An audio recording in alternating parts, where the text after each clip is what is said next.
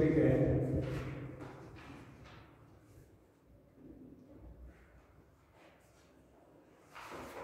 depression in raising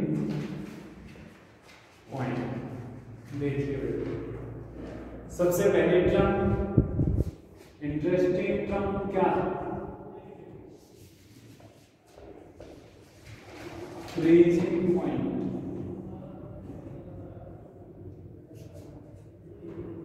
The temperature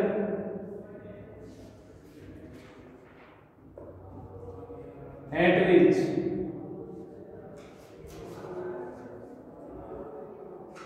solid and liquid state of the matter exist in dynamic equilibrium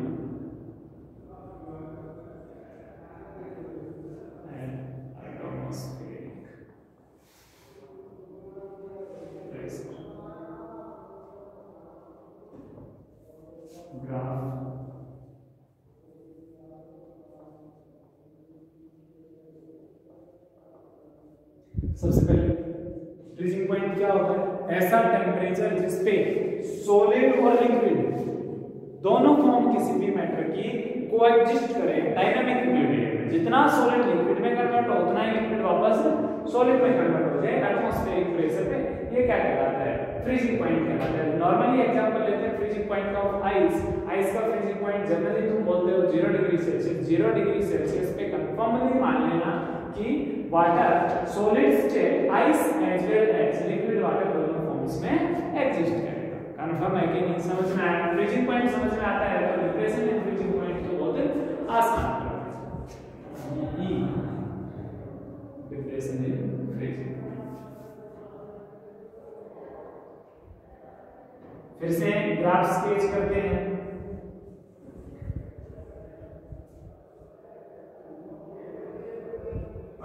काफी समझने वाली बात है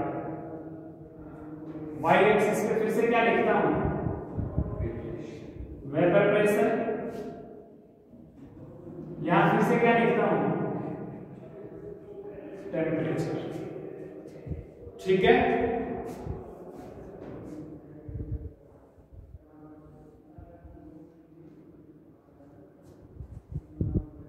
मैंने अकेले सॉल्वेंट का हीट करना शुरू किया है टेम्परेचर इंक्रीज हो रहा है सॉल्वेंट को हीट करना शुरू किया तो ग्राफ कुछ ऐसा है देखिए यहां सॉल्वेंट हमारा क्या है किस फॉर्म में है समझ समझिए मेरी बात ये पूरा ग्राफ किसका है सॉल्वेंट का यहां सॉल्वेंट किस फॉर्म में है यहां सॉल्वेंट किस फॉर्म में है सॉलिड और लिक्विड दोनों फॉर्म में एग्जिस्ट कर रहा है this point is known as freezing point of solvent solvent का वेपर प्रेशर ये रहा फ्रीजिंग पॉइंट पे ठीक है कि और सॉल्वेंट का टेंपरेचर इस टेंपरेचर पे सॉल्वेंट क्या हो जाएगा कंफर्मली फ्रीज हो जाएगा ठीक है कि नहीं लिख दें फ्रीजिंग पॉइंट ऑफ सॉल्वेंट दिखाई दिया हाँ इस पॉइंट को फ्रीजिंग पॉइंट कह रहा हूं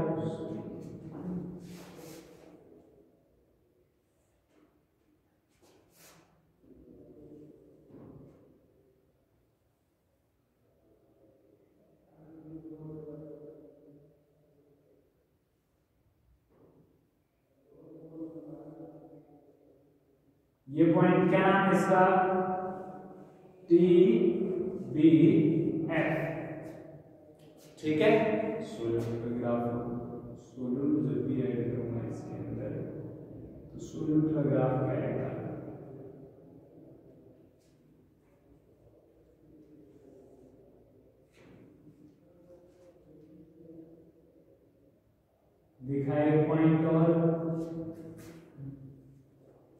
इस पॉइंट से पहले तुम्हारा सोल्यूशन ये किसकी लाइन है सोल्यूशन की किस फॉर्म में ऊपर लिक्विड ये क्या है तुम्हारा सोलवेंट किस फॉर्म में लिक्विड फॉर्म में यहां क्या था सोलवेंट किस फॉर्म में था सोलिड फॉर्म में यहां क्या है सोल्यूशन लिक्विड और इधर क्या है सोल्यूशन इस लाइन सॉल्यूशन किस फॉर्म में सॉलिड और ये क्या आ गया सॉल्यूशन का freezing point T S F this is depression in freezing point elevation बढ़ रहे थे तब कहा जा रहा था आगे की तरफ ये क्या आ गया डिप्रेशन इन फ्रीजिंग पॉइंट बोलो बात समझ में आती है कि डिप्रेशन एंड फ्रीजिंग पॉइंट समझ में आ गया जैसे सॉल्वेंट अकेला उसका क्या था फ्रीजिंग पॉइंट देखो सॉल्वेशन सॉल्वेंट अकेला का फ्रीजिंग पॉइंट ये सॉल्यूट ऐड करते हैं फ्रीजिंग पॉइंट आ जाएगा यहां फ्रीजिंग पॉइंट में क्या आया है डिक्रीमेंट है मैथमेटिकली बात को समझेंगे तो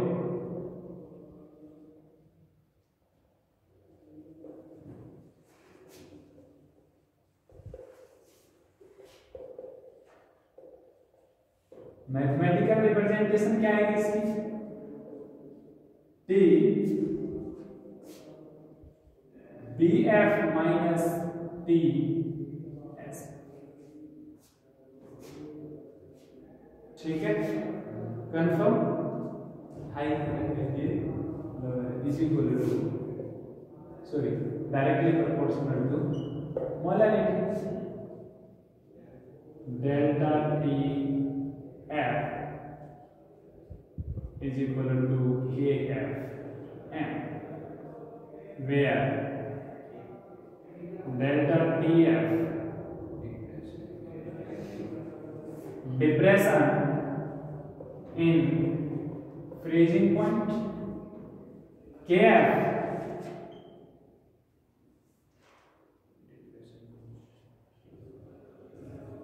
depression constant या कैरियोस्कोपिक कांस्टेंट कैरियोस्कोपिक कांस्टेंट के नाम से मिला तब भी कौन है यही तो है और कुछ थोड़ी है कैरियोस्कोपिक कांस्टेंट डिप्रेशन कांस्टेंट लिखा जाएगा एम तो फेमिलियर है ही कौन है मोलैलिटी मैं क्या पढ़ता हूं अगला टॉपिक में क्या पास क्या आता है इस डिप्रेशन इन फ्रीजिंग पॉइंट की कोलिगेटिव प्रॉपर्टी देखते हैं What is it? Delta TF is equal to KF multiplied by NA divided by WB multiplied by 1000. Yes. Number of moles of solute. अरे sir number of moles of solid पे depend कर रहा है तो depression and freezing point is equal to property फिर से repeat कर रहा not freezing point is equality property it is active property ठीक है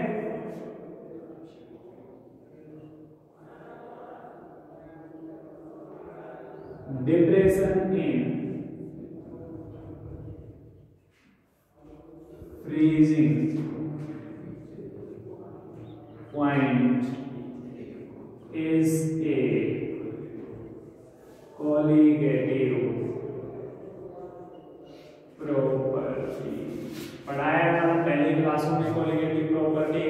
रिफ्यूजिव प्रॉपर्टी एडिटिव प्रॉपर्टी तो सिर्फ नंबर ऑफ मोल्स पे डिपेंड कर रही है तो नंबर ऑफ पार्टिकल्स पे डिपेंड करने वाली प्रॉपर्टियां ओनली कोलिगेटिव प्रॉपर्टी कहलाती है ठीक है अगला टॉपिक हमारे पास क्या आता है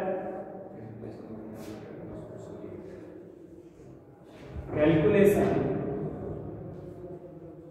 of MA by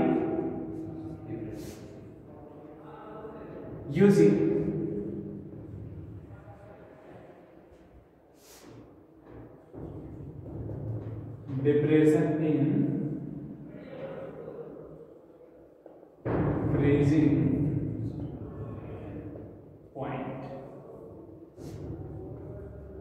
And Ranbam